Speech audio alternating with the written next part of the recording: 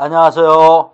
자, 이제 뭡니까? 우리 또 열심히, 열심히 달렸습니다. 또 같이 이렇게 공부하시는 수험생분들도 열심히 달려서 저하고 같이 와서 이제 마지막 장, 그죠? 문제풀이. 이론은 끝났고 문제풀이의 마지막 장입니다.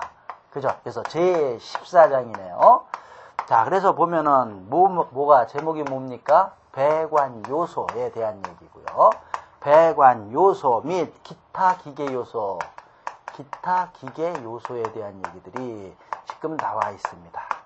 자, 그래서 또 저희가, 제가, 어, 우리가 이론할 때 보면은, 그저 그냥 이런 거 별로 제가 설명 안 했습니다. 왜요? 그냥 읽어보면 되는 거니까, 여기 읽어보십시오. 이러고, 우리가, 제가 이론할 때 했다라는 거예요. 근데 이제 우리가 지금 오늘 하는 거는 뭡니까? 문제풀이를 하는 거라는 거죠. 그러니까 문제풀이 할 때는, 우리 슬슬 읽은 걸 그냥 읽었다라고 보는 게 아니고, 문제를 풀면서, 우리가 내용을 파악을 하는 거다 이렇게 생각하시면 됩니다.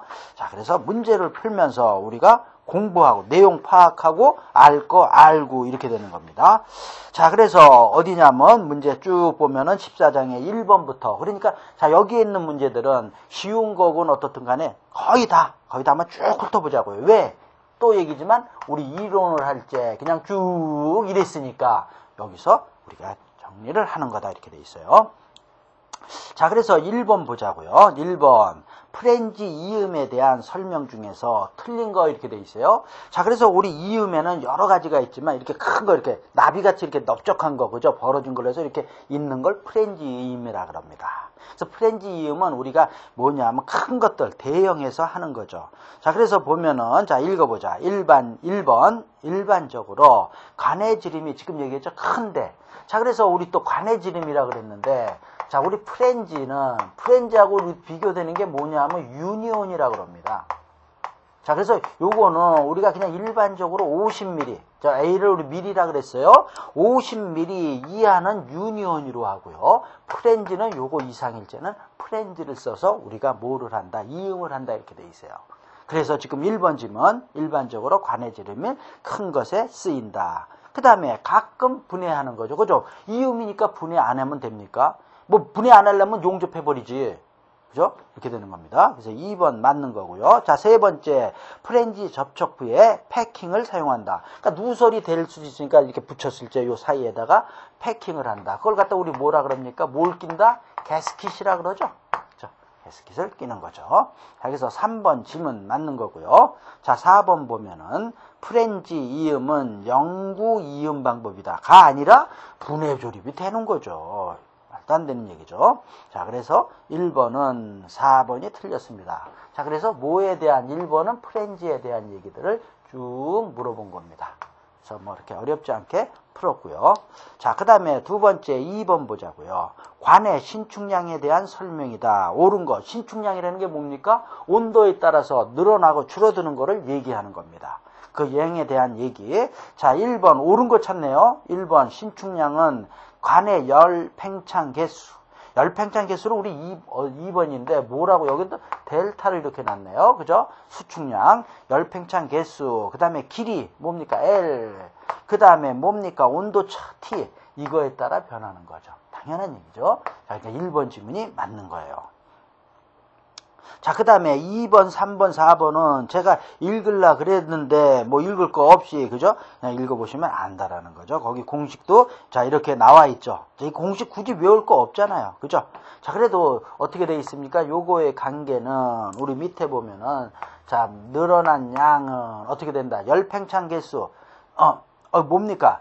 아, 이걸 왜 열팽창 개수를, 이게 처짐량이고, 열팽창 개수는 알파로 났습니까? A라고 났습니까? 알파로 났네요. 그죠? 알파로 이렇게 열평창 개수죠. 자, 그래서 처짐량은 열평창 개수에서 온도 그죠? 원래하고 늘어난 거. 그러니까 T-T0 외우는 거 아닙니다. 그 다음에 뭐야? 그냥 다 곱해주면 되는 거죠. 그래서 이거 뭐 공식이다고 할 것도 없는 거예요. 자, 이렇게 되는 거다. 자, 그래서 그냥 우리 2번 지문 보면은 그래도 신축량은 관의 열팽창 개수에는 비례하고 길이와 온도 차는 반비례한다 그랬는데 지금 우리 공식에 보면 다 비례하잖아. 그렇죠? 그래서 틀린 거예요. 반비례가. 자, 그 다음에 그 3번, 4번도 읽어보면 다 어떻게 된다? 그냥 쉽게 뭐다? 비례합니다. 이렇게 보시면 되는 거다라는 거죠. 자, 그 다음에 3번 보자고요. 슬루스 밸브에 대한 설명이다. 틀린 것 이렇게 돼 있어요.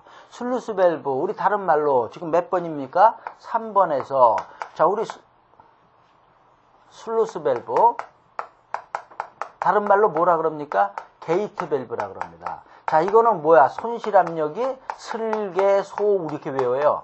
그래서 손실 압력이 적은 겁니다. 그러니까 쭉 잘 가는 거죠. 자, 그래서 자, 우리 슬루스 밸브는 어디에 사용하는 거냐 그랬을 때 우리 대형에 사용하는 겁니다. 그러니까 큰 겁니다. 큰. 대형이고 그 다음에 우리 뭐가 발생한다라고 우리 이론에서 했습니까? 와류가 조금 발생한다 이런 얘기들이 있죠. 자 그래서 3번 자 한번 1번 읽어보자. 밸브가 유체의 흐름에 직각으로 개폐한다. 자, 물이 이렇게 유체가 되는데 위에서 위에서 위아래로 이렇게 해서 저거 한다라는 거죠. 개폐를 한다라는 거죠. 자, 2번 플랜지 사이에 너비가 작고 활짝 열었을 때 고압, 고속의 유체에 있어서는 압력 손실이 어떻다? 이 얘기, 그죠? 압력, 손실 압력이 적다라는 겁니다. 자, 그래서 맞는 거고요. 자, 세 번째, 밸브 전체의 높이가 크고 전개 시간이 짧다. 밸브 전체가 높으니까 대형이란 말이야. 대형. 그러니까 뭐야? 전개 열고 닫는데 시간 많이 걸린다라는 거죠. 자, 그래서 뭡니까? 3번이 틀렸네요. 그죠? 어렵지 않습니다. 자, 네 번째 질문.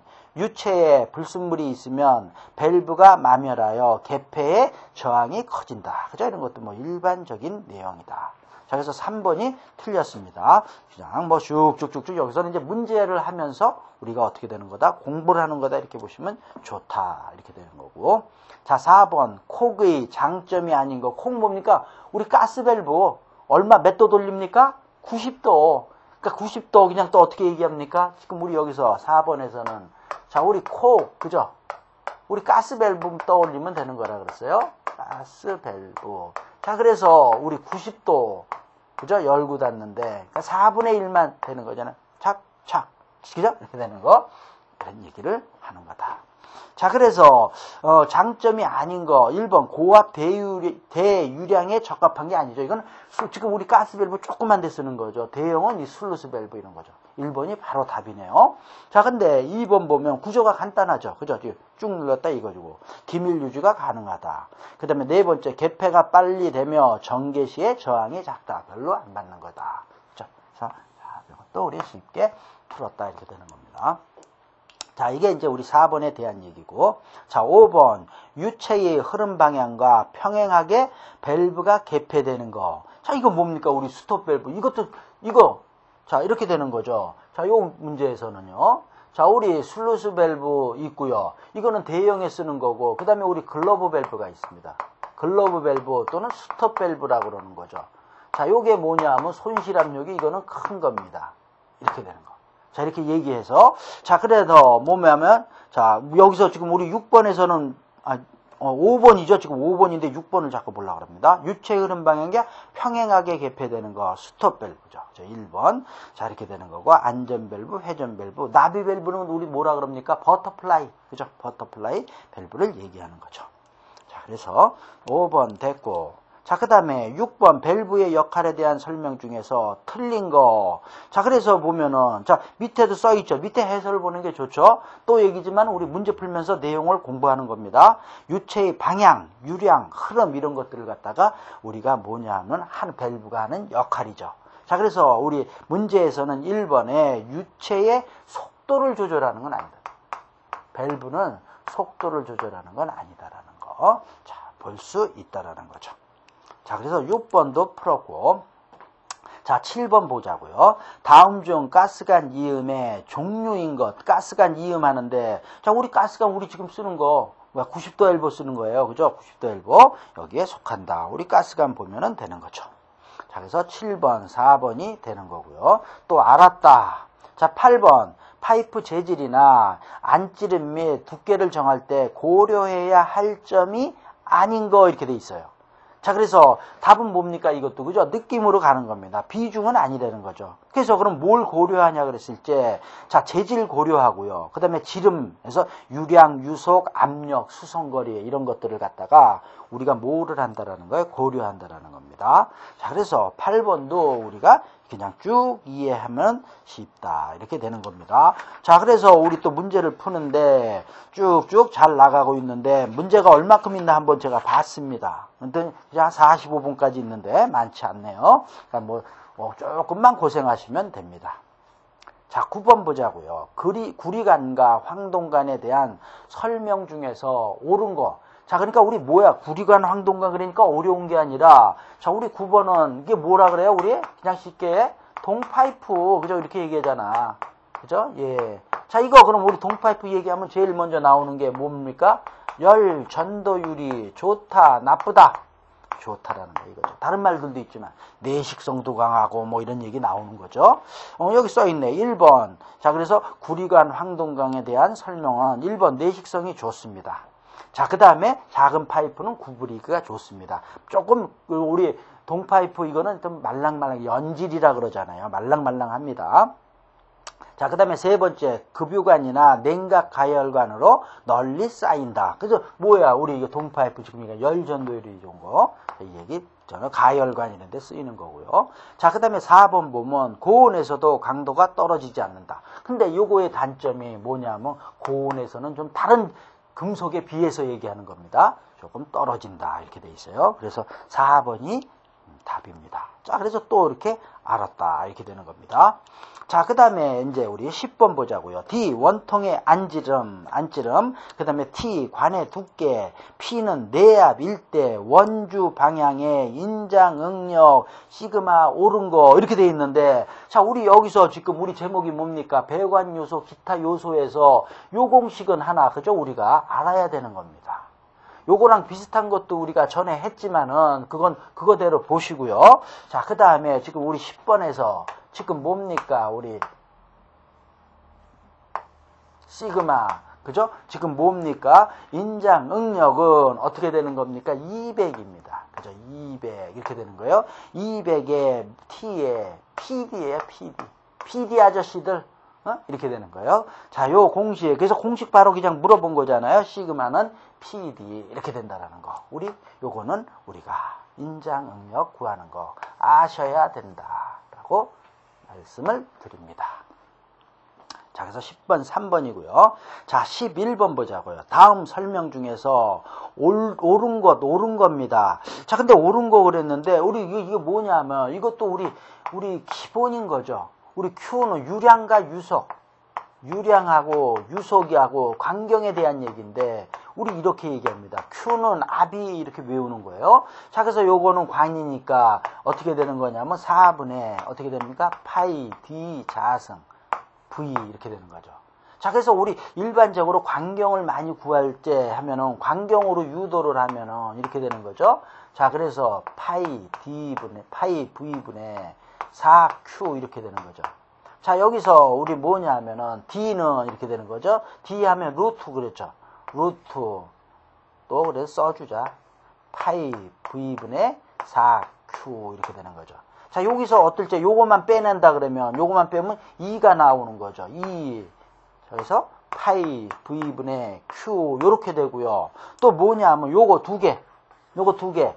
4 나누기 3.14에서 또 빼면은 어떻게 되냐 하면 약 1.13 이렇게 돼요. V분의 Q. 자, 이게 다 똑같은 공식을 갖다가 이렇게 변형을 하는 거죠. 자, 이런 거 좀 우리 어, 아는 거고요. 자, 그래서 보자.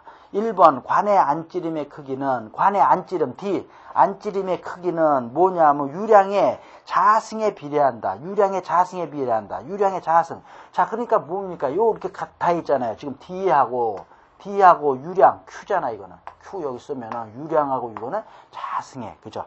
안찌름하고는 유량에 이렇게 된다. 여기 여기 똑같습니다.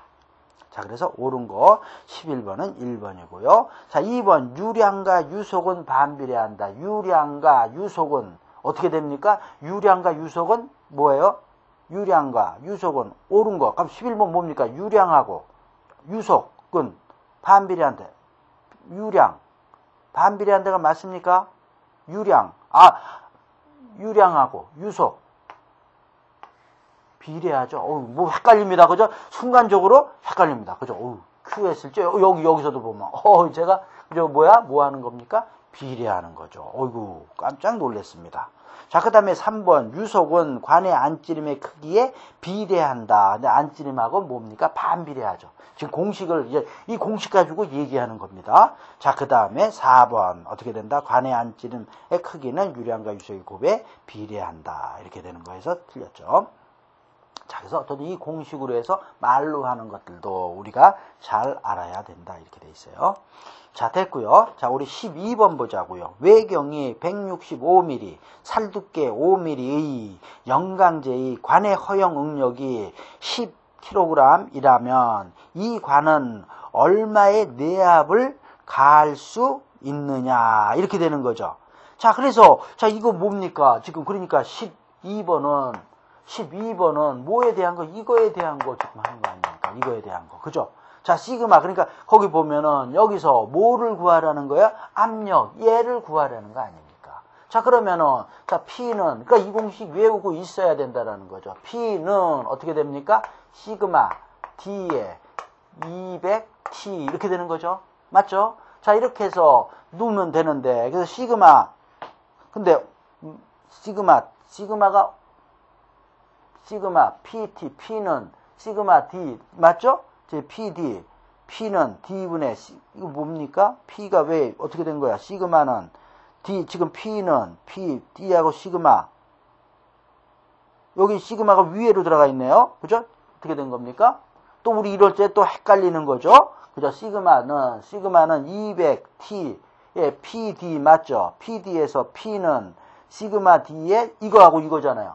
그죠? 여기서 이렇게 되면, 아, 이게 내가 제가 또 이게, 그죠? 어떻게 됩니까? 제가 이렇게 순간적으로 이렇게 좀 헷갈립니다. 그죠? 이거 곱하기 이거. 제가 내공이 부족합니다. 항상. 그죠? 어? 이렇게 되는 거야. P는, 자, 그래서 P는, 자, 이거하고 이거니까 어떻게 되는 겁니까? D분의, 이렇게 되는 거죠. 200, 그 다음에 시그마 T. 제가 이상하게 그 이게 좀 그죠? 어떨 때 보면, 아우, 너 요거 아니야 이래요. 근데 이렇게 요 꼭 요렇게 해고해야지 제가 좀 이해가 어떨지 순간적으로 그래요. 이게 막 바뀐단 말이죠. 자, 이렇게 되는 겁니다. 어떻든 자 됐어요.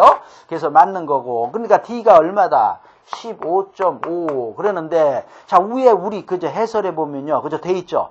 음.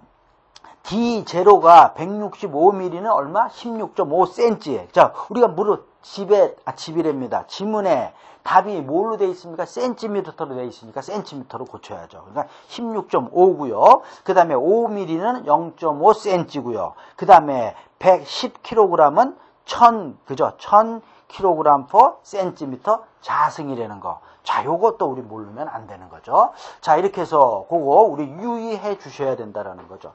어떻든 그래서 그거 신경 써서 해서 수치는 누면은 되는 거 아닙니까? 20, 2 곱하기 0.5 곱하기 그 다음에 1000이죠. 자, 이렇게 되는 거죠. 자, 그렇게 하니까 계산하니까 64.5다라는 거죠. 센티미터로 한 겁니다. 자, 그래서 답은 어떻게 되는 겁니까? 3번이 되는 거죠. 자, 그래서 지금 저는 헷갈렸지만 이 공식, 그죠? 이 공식에서 이게 들어가는데 왜 시그마가 왜 밑으로 놓냐 이런 얘기입니다, 제가. 그래서 이렇게 구하는 거다. 자, 그래서 12번도 우리가 쉽게 풀었다. 이렇게 되는 거죠. 13, 14번 그냥 보시고요. 자, 그 다음에 15번도, 그죠? 15번도 우리가 봐야 될 겁니다. 자, 내야 P, 허용응력, 어? 있고, 파이프 안찌름 D, 효율 N, 부식에 대한 정수 C, 일제, 파이프에 대한 두께는 이렇게 돼 있는데 자 이것도 뭡니까? 우리 자 여기서 그냥 지금 여기는 아까 P로 구했는데 지금 뭐에 대한 겁니까? T에 대한 얘기를 하는 겁니다. T에 대한 얘기. T를 구하라. 그또 해구해야죠. 이렇게 해고. 그래서 T는 이렇게 되는 거죠. 그러면 200 그죠? 여기 시그마 여기로 같이 가는 거죠 자 시그마 가고 그 다음에 요거 PD는 그대로 가는 거죠 자, 근데 여기에 우리 뭐라는 겁니까? 여기 돼 있는데 뭐가 효율이 실제 여기다가 넣어주는 거라는 거죠. 에타. 그 다음에 부식에 대한 거는 이렇게 넣어준다라는 거죠. 자, 그러니까 이 공식 어디서 많이 봤어요? 이렇게 되는 거. 그거 물어보는 겁니다. 그러니까 이것도 우리가 알아야 되는 거죠. 그죠?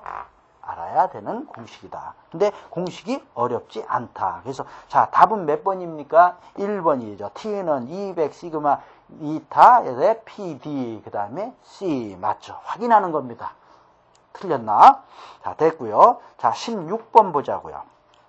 자, 합근 강간은 다음 중 어느 곳에 사용하는가? 강간인데 거기다 합근까지 들어갔습니다. 그래서 좋은 거죠. 그죠? 그래서 2번 고온 고압에 유체용에 사용한다라는 겁니다. 자, 어렵지 않게 됐습니다.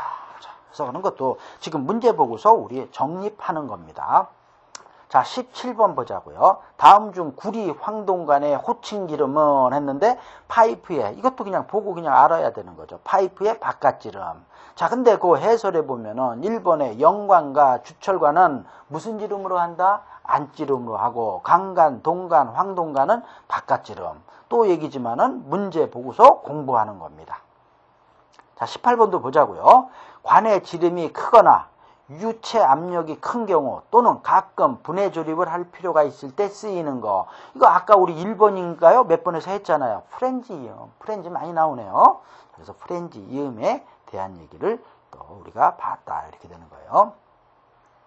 자, 그 다음에 19번 보자고요. 19번. 직경 2000mm, 측면 두께 T는 10mm, 물통이 있다. 물의 깊이가 3m 일때 측반의 생, 측 판에 생기는 응력은 얼마인가? 이때 효율까지 줬습니다. 자, 이렇게 돼 있는데, 자, 효율까지 줬으니까, 지금 여기서, 여기서, 그죠? 효율 주면 여기 이거 들어간다는 거죠. 그러니까 이 공식 우리 모르면 안 되는 거다라는 거죠. 그죠? 그래서, 자, 우리 19번은 똑같은 건데, 자, 우리 뭐냐, 어떻게 쓰는 겁니까? 델타를 쓰려 그랬네. 시그마는 효율 200에, T에, 에타, PD 이렇게 되는 거예요. 그죠? 자, 이렇게 해서 이 공식을 우리가 지금 쭉쭉쭉 나가는 거죠. 자, 그래서 그냥 우리 뭐 더 볼 거 없이 이제 수치는 넣는 거 아닙니까? 그래서 수치 그냥 넣어주면 되는 겁니다. 자, 그래서 그냥 갈라 그래도, 그죠? 해보고 가자 이런 얘기죠. 이거에 t는 10이고, 그 다음에 효율이 얼마라 그랬습니까? 0.7이잖아. 요거, 요거 추가된 거. 자, 그 다음에 우리 PD 아저씨 어떻게 된다? 0.3 곱하기 얼마? 2천. 책에 있는데 왜 쓰냐고요? 그래도 이렇게 해서 보셔야 된다는 거죠.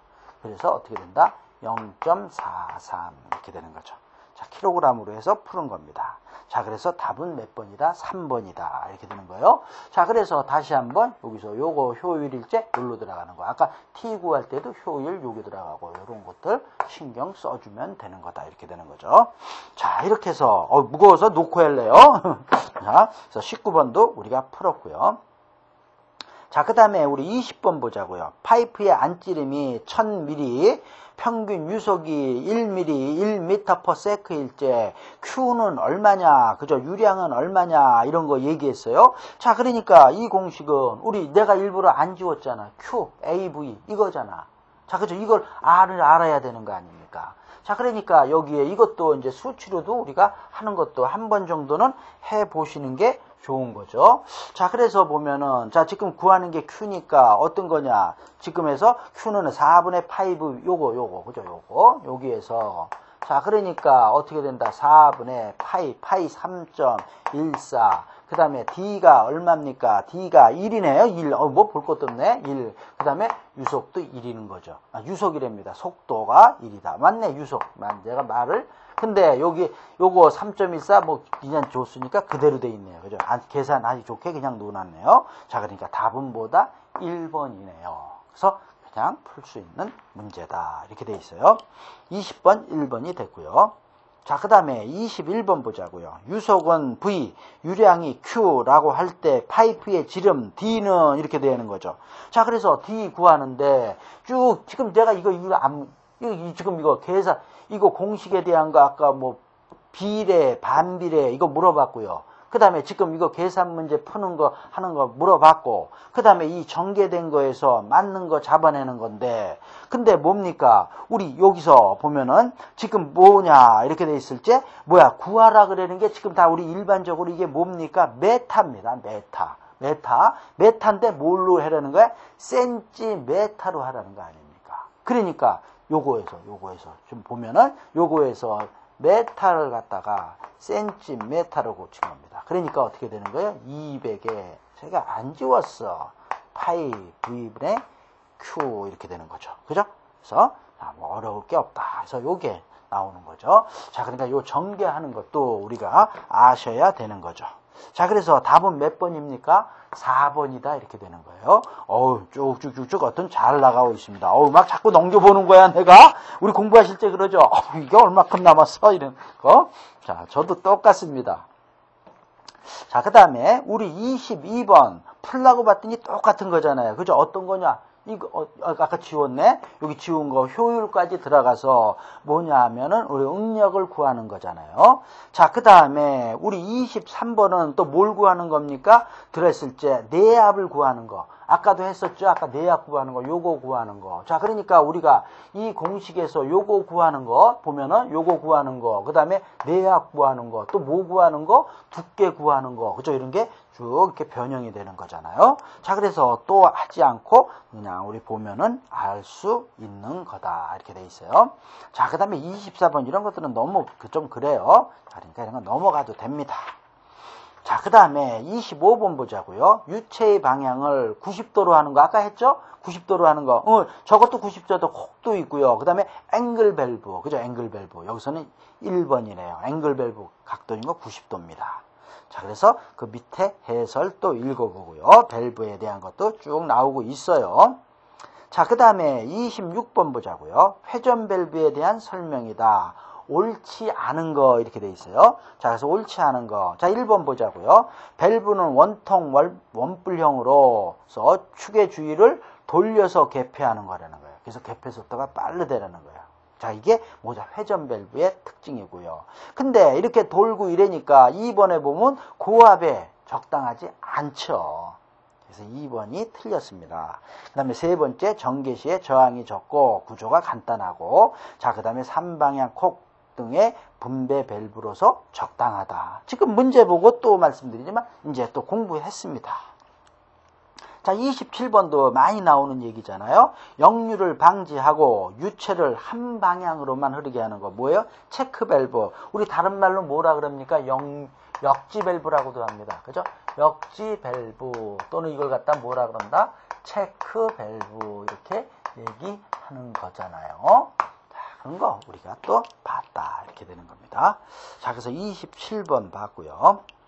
어, 잘 나가고 있습니다. 28번 파이프 안에 압력이 규정 이상이 되었을 때 자동적으로 작동하여 유체를 외부로 흐르게 하든지 또는 원 상태로 돌아가게 하는 거. 그러니까 뭐 안전하게 항상 만들어준다라는 거예요. SF입니다. S, S, SF입니다. SK, SKF, SKF. 그죠? 자, 그냥 이렇게 알면 되는 겁니다. 에스케이프 밸브다. 자, 됐습니다. 자, 그래서 28번, 우리 3번 이런 거. 우리 책에는 안 나왔지만 문제가 있는 거죠. 그래서 문제로 해서 또 공부를 한 거고요. 자, 그 다음에 29번, 우리 많이 했던 거니까 또 했던 거 보시면 되는 거고요. 30번, 이제 캠에 대한 얘기네요. 캠도 그냥 간단 정도만 알면 됩니다. 평면 캠 중에서 가장 널리 사용되는 거는 3번입니다. 그래서 판자캠이라 그러죠. 우리 앞에 그 이제 이론 그 앞에 있는 이론을 보면은 원판캠 등의 판자캠 이렇게 돼 있어요. 원판캠 이게 가장 많이 사용하는 거다라는 겁니다. 자, 그래서 그 밑에 해설도 한번 쭉 읽어 보시면 깊게 갈 필요 없는 거예요. 그냥 그냥 읽어만 보시면 되는 겁니다. 자, 됐고요. 자, 그 다음에 31번 보자고요.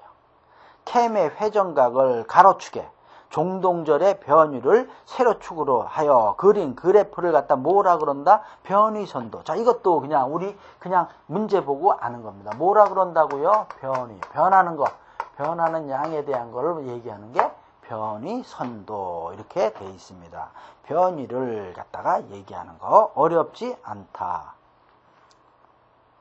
자, 그 다음에 32번 작용, 작, 작용면을 구성하는 곡선의 이름, 작용면, 이건 뭡니까? 윤곽 곡선. 자, 이것도 우리 그냥, 그냥 여기 보시고서 하시는 거다. 이렇게 되는 겁니다.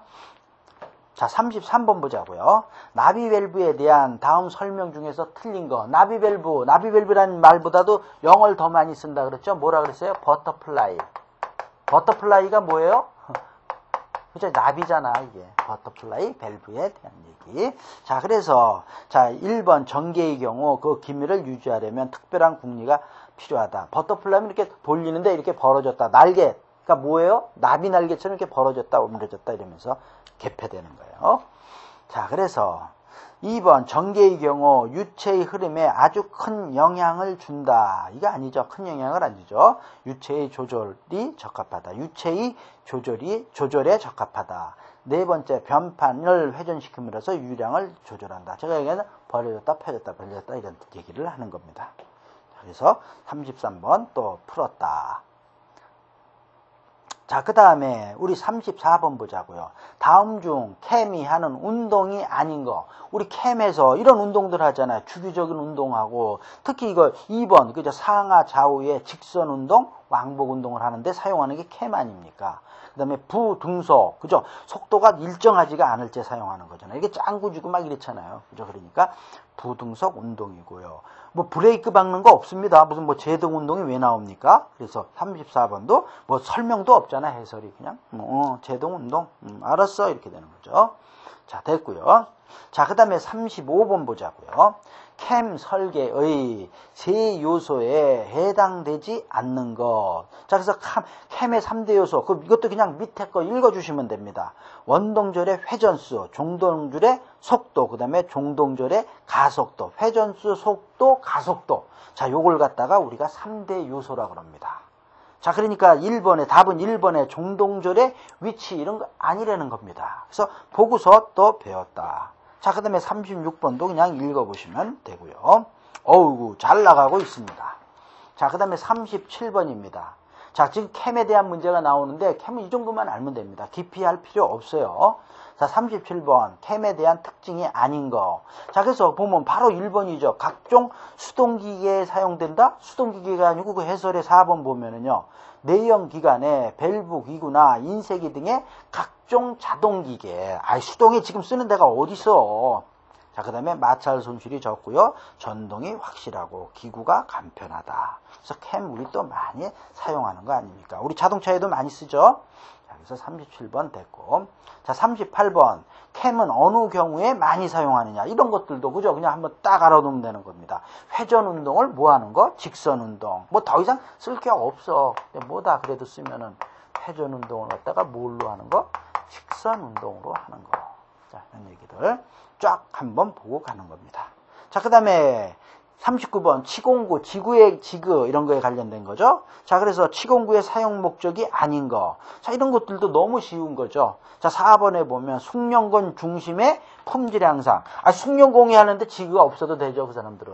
자, 그러니까 뭐예요? 그냥 누구나 할 수 있게끔 자, 치공구를 이용해서 누구나 할 수 있게끔 하기 위해서 하는 거, 쓰는 거죠. 자, 그래서 답은 4번이 틀렸고요. 자, 그 다음에 그 밑에 보면은 우리 또 해설이 쫙 돼 있는데, 그죠? 뭐 해설도 잘 돼 있잖아요. 그냥 뭐 읽어보면은, 어, 그냥 일반적인 내용이다. 이렇게 돼 있어요. 자, 그 다음에 40번도, 40번도 이것도 문제 보고 우리 알아야 됩니다. 가장 단순한 방법으로 생산 속도를 증가시킬 수 있는 거, 플레이트 지그라는 겁니다. 자, 그 다음에 또 해설에 보면요. 템플레이트 지그, 최소의 경부로 가장 단순하게 하는 거, 요것도 알아둬야 됩니다. 템플레이트, 템플레이트 지그라는 거예요. 자, 그 다음에 3번, 4번도 있고요. 자, 그 다음에 41번 가고 있네요.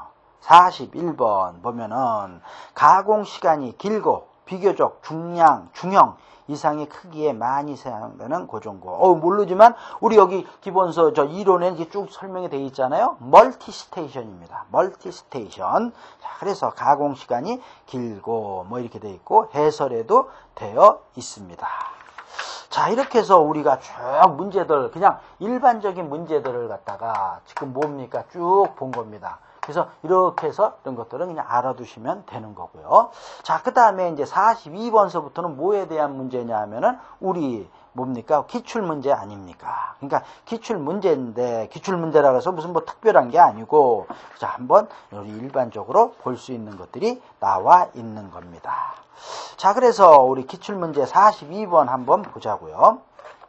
자, 42번 캠에 대한 거 나왔죠? 그죠? 우리 이거 캠에도 이렇게 나온 거죠. 캠의 윤곽을 설계할 때 고려해야 할 사항이 아닌 거. 자, 1번 각 순간의 종동철의 위치, 3번의 속도 가속도, 4번의 윤곽 곡선의 법선과 종돌전의 종동절. 어, 발음이 잘 안 되네. 종동절. 운동 방향이 이루는 각도. 자, 답은 2번이라고 되어 있네요. 자, 근데 우리 42번하고 35번 아까 좀 보자고요. 한 장 전 넘겨서 35번 보면 뭐가 써 있습니까? 캠 설계의 3대 요소, 회전수, 종동절의 속도, 종동절의 가속도가 적어라는 거죠. 그죠? 뭐예요? 요게 3대 요소인데 여기서 묻는 거 이거랑 헷갈리지 말라고 제가 다시 하는 겁니다. 융 설계할 때 고려하는 사항이에요. 고려사항. 그러니까 종돌 1번의 각 순간의 종동절의 위치 이런 거는 고려한다라는 겁니다. 자, 그래서 밑에 해설도 또 있죠. 자, 그러니까 신경 써서 요 문제 무슨 뭐 깊은 건 아니지만 그냥 또뭐 이런 거잖아요. 그죠? 보시면 되는 거다. 이렇게 돼 있습니다. 자, 이렇게 해서 우리 42번 봤고요. 자, 그 다음에 우리 43번 보자고요. 43번에 대한 문제. 외경이 110mm, 두께가 5mm인 광관에 내압 40메가파스칼이 작용한다. 강판의 두께, 강판의 두께, 강판의 얇은 두께로 가정할 때 길이 축방향 하중, 하중, 그러니까 뭐 피에 대한 얘기죠. 피와 길이, 길이, 축방향의 응력, 시그마는 얼마냐 두 가지를 물어보는 겁니다. 자 그래서 자 우리 43번은 자 우리가 그죠 풀어봐야 되는 거네요. 자 그래서 43번에 보면은 자 우리 맨 처음에 뭘 물어봤습니까? 하중을 물어봤습니다. 자 그래서 우리 하중을 구하려 그러면 우리 너, 했죠. 너무 많이 한 거. t는 PR이다. 이런 얘기가 나와 있는 거죠. PR이고 자 근데 그럼 여기서 P는 어떻게 되느냐 이런 얘기죠. 자 P는 우리 아까 우리 저기서는 뭐야 뮤, Q 이렇게 많이 했죠. 근데 여기는 그게 아니에요. 자 그러니까 P는 뭡니까? P는 QA 이렇게 되는 거죠 여기는. 자 그래서 자 우리 요거는 우리 P는 어떻게 됩니까? 이걸로 쓸까 그냥 QA 이렇게 되는 거죠. 자, 근데 우리 또 책, 우리 지금 해설에는 뭘로 돼 있습니까? Q가 아니고 P로 넣어 조그만 P로. 그러니까 헷갈릴까봐 이렇게 넣는 게 더 좋습니다. 그래서 이렇게 넣은 거예요. 근데 책에는 이렇게 넣은 것도 뭐, 그저 다 되는 거죠. 자, 이렇게 되는 거예요. 자, 그러면은, 그러니까 어떻게 됩니까? T는 다시 P, P는 QA, P는, 자, 여기다 쓰자. P는 QA다. 이렇게 되는 거죠. 자, 근데 A가 뭡니까? 원이잖아요. 그러니까 P는 Q의 4분의 파이 D 자성 이렇게 되는 거죠. 그죠? 자, 이렇게 해서 나오는 거죠. 자, 그래서 우리 지금 구하는 P는 그냥 구하면 되는 거죠. 자, 그러면 여기서 Q는 얼마입니까? 그러니까 Q가 지금 얼마? 40입니까? 준게 Q가 어디 있습니까? 40이잖아. 40 메가파스칼. 자, 그리고 곱하기 그 다음에 4분의 파이 3.14 하고 자 D를 구하려고 보니까 D가 없잖아. 자 근데 자 요거 우리 저 라지로 쓰자 이해하기 좋으라고 크게 D 아무렇게 써도 관계는 없지만 자 그러면 우리 D는 또 우리 구하는 게 있잖아요. 지금 이 뭐야 D 제로 D 제로에서 얼마를 해주면 됩니까? 2T를 해주면 되는 거잖아. 자 요거 우리가 또 요거를 알고 있어야 되는 거죠. 자 그러면은 D0는 지금 얼마입니까? 110이네요. 그죠? 110이고 마이너스 2에 T가 얼마입니까? T가 2T가 10이죠. 해서 같이 10으로 그냥 계산 2T 5니까 10이죠. 그죠? 맞죠? T가 5니까 2 곱하기 5니까 써줘. 네, 써줄게. 2 곱하기 5. T가 5를 줬잖아요. 그러니까 10이니까 얼마다? 100이. D가 얼마가 나오는 겁니까? 100이 나오는 겁니다. 자, 그러니까 이걸 갖다가 D를 넣으면 되는 거죠. 그러니까 3.14 곱하기 D는 100이죠. 100 자승 이렇게 되는 거죠. 자, 그래서 40 곱하기 파이 곱하기 100의 자승 4분의 이렇게 되는 거죠. 자, 이렇게 해서 구하는데 우리 보니까 여기 파이를 넣어줬어요. 그러니까 3.14 또 이렇게 쓸 필요 없는 거죠. 파이로 그냥 있으니까. 그죠? 그러니까 파이 이렇게 되는 거죠. 파이. 그러니까 우리 계산기 사용 안 하니까 그냥 파이로 넣어준 거 아닙니까? 자, 그러니까 얼마다? 100 파이가 나오는 거죠. 맞죠? 자, 그래서 답은 100파이 되는 거예요. 자, 그래서 100파이가 하나만 구해도 답은 그죠? 이거 하나 있으니까 이게 답이 4번이 답이네요. 이렇게 되는데 자, 그걸 또 이제 우리가 뭡니까? 시그마를 구하는 거잖아요. 자, 여기에 1번이고요. 자, 1번. 그다음에 2번은 자, 우리 시그마를 구하고 시그마를 구하는 거죠. 그래서 수치까지 좀 봐야 되니까 좀 들고 와서 자, 우리 시그마. 자, 이거 우리 또 너무 많이 했잖아요. ETQD. 그죠? ET의 Q. 그 다음에 D. 그죠? 여기 면압, 저기, 이거에 들어가는 거죠. Q가. 그죠? 압이 들어가는 거죠. 네, 내압이 들어가는 걸 Q로 놨습니다. 자, 그러니까, 자, 요거 구하면은 수치 누자, 수치 4 곱하기 5죠. 자, 5고, 그 다음에 400 곱하기, 400이랍니다. 40이죠. 그죠? 40 곱하기 100이다. 이렇게 되는 거죠. 그죠? 자, 누니까, 자, 그러니까 이게 얼마다? 200이 나오네요. 그죠? 200이 나온다라고 되어 있습니다. 자, 그래서 200 메가파스칼 이렇게 되는 거죠. 자, 그래서 요거는 답이 이렇게 되는 거예요. 자, 그래서 답이 100 파이하고 200 이렇게 되는 거죠. 자, 그래서 우리가 구했다라는 거죠. 자, 그래서 43번 우리가 된 겁니다. 자, 그 다음에 44, 어, 두 문제 남았습니다. 바깥질은 150mm, 두께 5mm, 길이 10, 10m인 양 끝단이 구속된 강단의 온도를 20도에서 320도까지 상승시켰을 때 길이 방향으로 발생하는 응력의 크기는 어떻게 됩니까? 이랬을 때 아까 우리 뭐 공식 안 외워도 된다 그랬지만 그죠? 안 외우고도 풀 수 있지만은 밑에 해설에는 공식이라고 써 있잖아요. 자, 그러니까 우리 44번에서는 어떻게 되는 겁니까? 시그마는 이렇게 되는 거죠. 시그마는 우리 알파에다가 그죠? 온도 그죠? T에서 T0 요거에 L이잖아. 그죠? 이렇게 되는 거잖아요. L인데 L 대신에 이게 뭘로 놓아줬습니까? 2로 놓아줬잖아요. 그러니까 요게 뭘로 되는 겁니까? 2 이렇게 되는 거죠. 2가 뭡니까? 열팽창 개수로 놓아준 거잖아요. 자 이렇게 되니까 그대로 놓아주면 되는 거 아닙니까? 자 그러니까 우리 A가 알파가 얼마입니까? 112죠. 112 그냥 놓아주고 여기 책에 있는 거 그대로입니다. 그 다음에 T, T0 자, 그, 아, 112 곱하기 10에 마이너스 7승이네요. 어휴. 뭐, 그 다음에 곱하기, 그 다음에 뭐야, 320에서 20, 320에서 20 빼주는 거고. 자, 그 다음에 2가 얼마입니까? 2가 200인데, 제가 왜 쓰느냐 면 요거 때문에 쓰는 겁니다.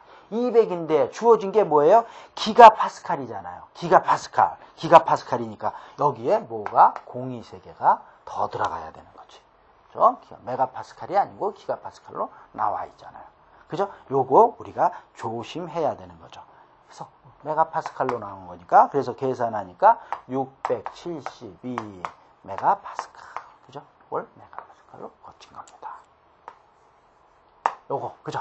그래서 아무것도 아닌데 공식에서 아무것도 아닌데 요거 때문에 우리가 했습니다. 그래서 답은 몇 번이다? 44번에 4번이다. 이렇게 되는 거예요. 자, 이제 마지막 문제입니다. 어떻든 마지막 문제 하면서 이제 풀기 전에, 그죠? 어유 자, 밑에까지 쭉 왔습니다. 그죠? 이론하면서 쭉 갔는데, 이제 마지막 우리 기계설계의 마지막 문제까지 이제 왔습니다. 자, 45번입니다. 고정되어 있지 않은 관에 온도 변화가 있을 때 신축량에 대한 설명으로 옳은 겁니다. 자, 근데 우리 이 문제 아까 많이 했었잖아요? 했던 거, 그냥 바로 결, 보자고요. 4번이잖아. 신축량은 열팽창 개수, 그죠? 열팽창 개수하고, 그 다음에 길이하고 온도의 변화에 우리 아까 뭐라 그랬습니까? 다 뭐라 그랬습니까? 비례한다 그랬잖아. 그죠? 한 거 또 나왔잖아요. 어떤 거 1번, 2번, 3번은 비례하고 반비례하고 막 말 만들었잖아요. 근데 뭐다? 비례한다라는 거죠. 자, 이렇게 되는 거예요. 자, 그래서, 자, 우리 어떻든 고생 많이 했습니다. 45번, 그죠? 45번은 비례한다라는 거. 다시 한번 선팽창 개수, 길이, 온도 변화에 비례한다라는 얘기까지 했고요. 어떻든 자, 우리 또 수험생 여러분 어떻게 공부 열심히 하셨고 또 잘 되셨는지 모르겠습니다. 어떻든 지금까지 해서 자, 우리가 쭉 봤고요. 자, 근데 또 보니까 이제 끝내려고 봤더니 뭐가 있습니까? 부록이라고 나와 있습니다.